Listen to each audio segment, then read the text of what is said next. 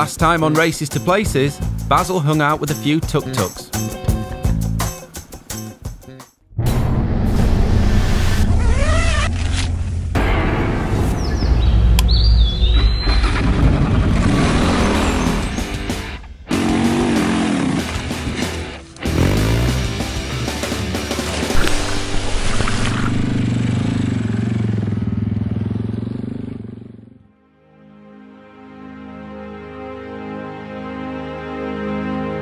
Definitely a nice spot to camp with this beautiful view. So last night camp spot didn't turn out too bad. I didn't get bothered by any locals, surprising because I'm really close to the road. Uh, just turned my light out when I heard anyone coming. And uh, yeah, here we are this morning. Let's take you for a walk through. One of the little tips about camping is always try and camp where people can't see you because if they can't see you, they won't bother you. So they don't know you're there. But this is the view that I got this morning when I woke up. Not bad at all.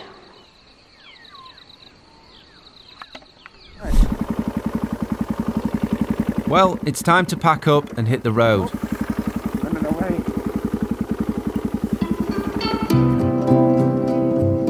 As Lyndon said, if you're thinking of wild camping, a bit of preparation to find a secluded spot will mean there's less chance of being disturbed, giving you a good night's sleep.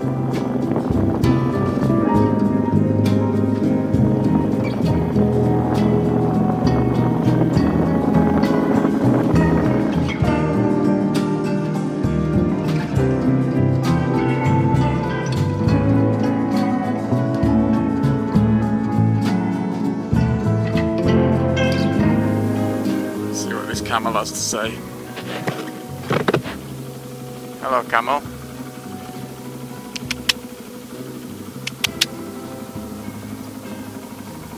Don't spit on me.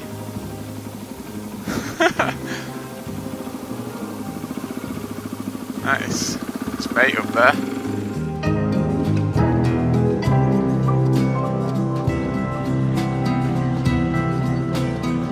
So, today we're making our way towards the Lalibela churches.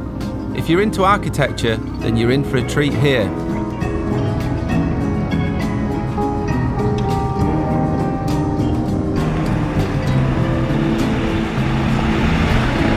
Well, one common sight on these Ethiopian roads is crashed vehicles, and uh, some of them are crazy truck crashes, head ons, all kinds of really serious accidents. But see here, there's a bus just run off the side. Now, these buses are packed full of people, so as you can imagine, I imagine there's some minor, if not major, injuries on this one. You see it everywhere, and the roadworthiness of the vehicles is really terrible.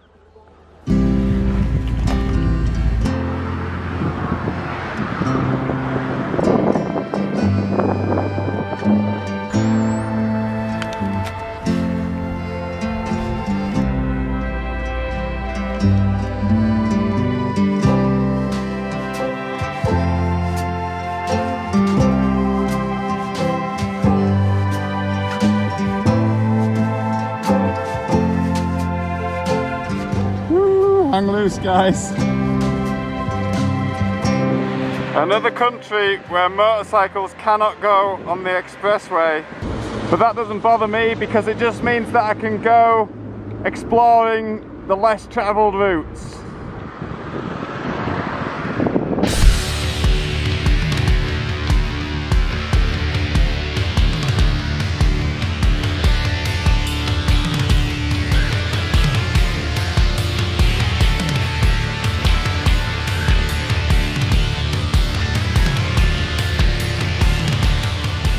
So uh, obviously they get quite a lot of rain in the wet season here and uh, it just washes everything away and where they build new roads it's obviously quite hard standing so the water runs down the side of the road. Uh, but check this washout out, it's completely washed the road away, it's eroded away. Once was a road, now it's gone.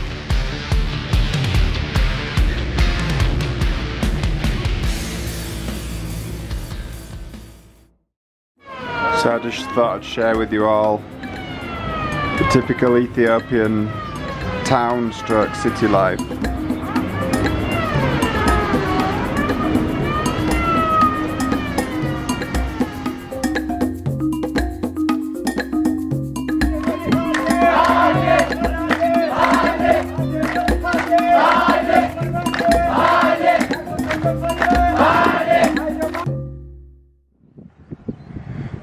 Guy's trying to sell me some weed.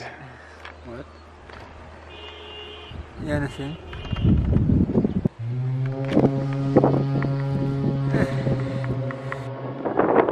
Wow, could be in the Yorkshire Dales here for all I knew. Look at that lovely bridge there, the green fields.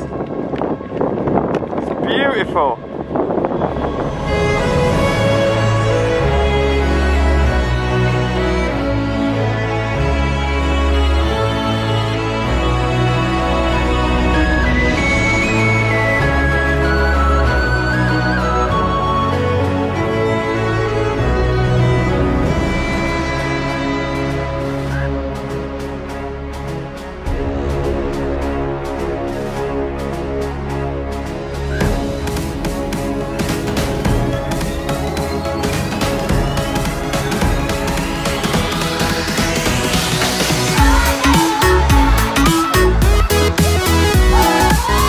Is the first group of kids that I've met that have come running towards me and singing for me. No, no, no, no. no.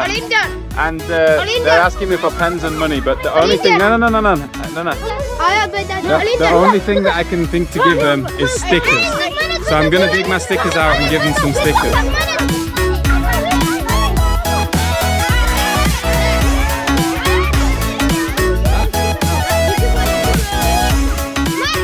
The simple things in life, eh? Here in the UK, you'd have to be handing out iPads to make the children this happy.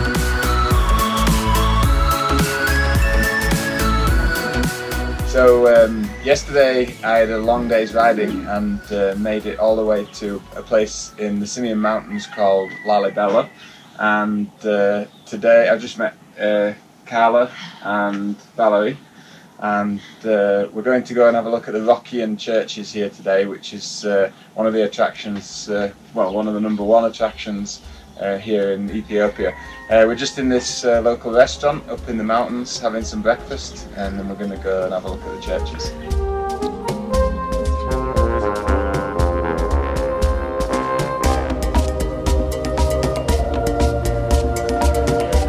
So this is one of the trenches that they use to get in and out of the churches and to also access between the different churches. So this one and that one there. It's super deep though, dug all the way down. So here I am just sat on the top of the rock. So this is the roof of the church. And as you can see, all the gap around the church and everything inside is just carved from solid rock. So this whole church is just one piece of rock. It's incredible. Other than the little repair jobs that have been done here and there, it's just one solid piece of rock. Really spectacular. I've never seen anything like it. All hand chipped, carved, hammers and chisel. Wow, amazing. How did they even know that the rock was so solid all the way down? And how did they design it and draw it and make all the walls so straight and everything? It's just uh, incredible. It's just mind blowing that these churches are cut from a single piece of rock. So we can see on uh, on this side these pillars are original, completely original, carved from solid stone. Um, unfortunately, as you can see up there, there is some damage, um, and on this side of the building, if we just go back around here, these pillars were damaged by the earthquake. Earthquake, yeah and uh, they had to be rebuilt. So we see these are actually rebuilt from stone, like bricks, but originally it was all like this, just carved from solid rock. Well, I've never seen anything like this before. These buildings are stunning. Some serious manpower has gone into carving these out. If you want to visit these monolithic churches, you'll find them in Lalibela, Ethiopia, which is the country's holiest town. So this is carved into the solid rock. Wow. Well, they made it so perfect.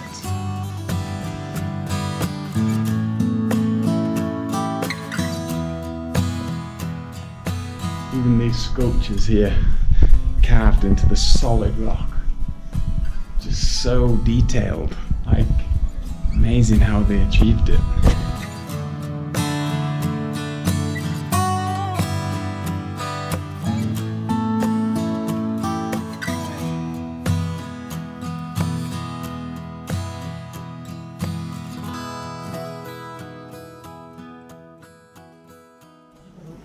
So here we are at St George's Church, and this is the only cross form monolithic church in the world. Um, this church here is one single piece of rock. It's carved into the rock, and it looks like it's three stories, but actually inside it's just one one building, one story. Uh, it's really spectacular.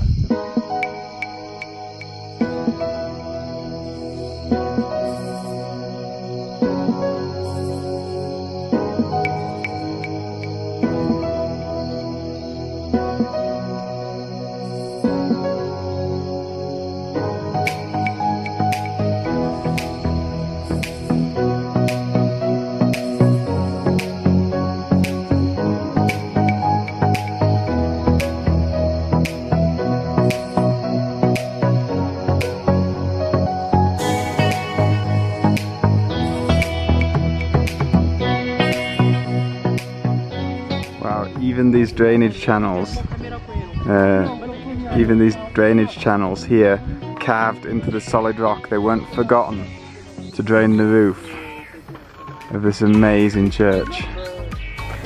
So that's it, that's our look at the Lalibela churches here up in Lalibela in Ethiopia. It's been really spectacular. Um, these things, these churches were built in the 12th century and all with hand tools. I can't imagine how they began to do it. I imagine they started with the roof and made the shape and then started to work down the outside and then through the windows onto the inside to carve all the inside out.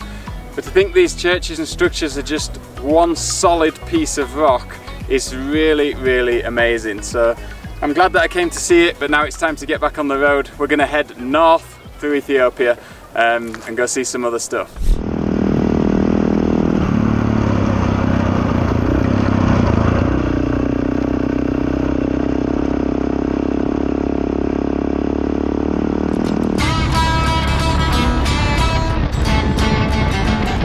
Beautiful scenery and the friendly locals waving.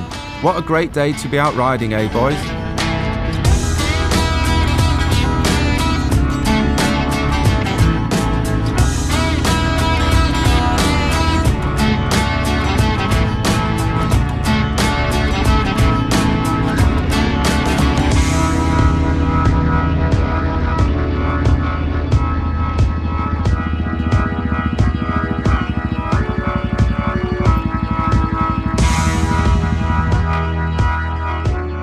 Guys, I just can't believe it. I'm absolutely blown away with the scenery.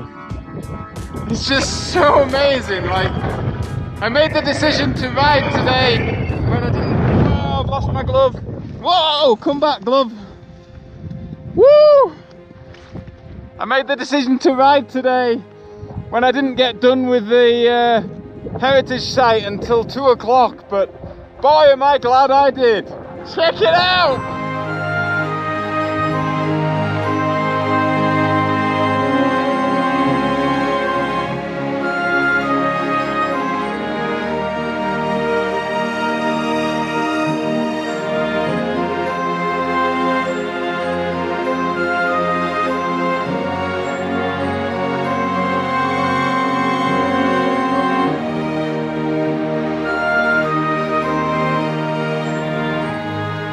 Sadly, we're coming to the end of an episode again. Leave a comment under the video if watching these Africa episodes has made you think of visiting. Well, this has to be one of the sickest camp spots I've ever had. The view into the valley is just spectacular. I just could not ride past it. Uh, probably not the best because it's visible from the road, but it's super quiet up here.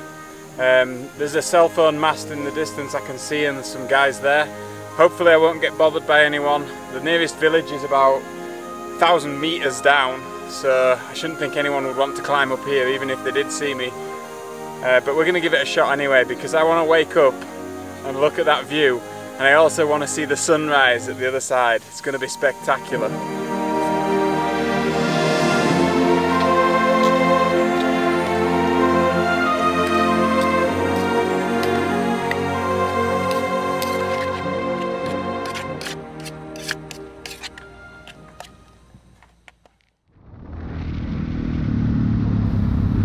Next time on Races to Places, we've a new guest on the show.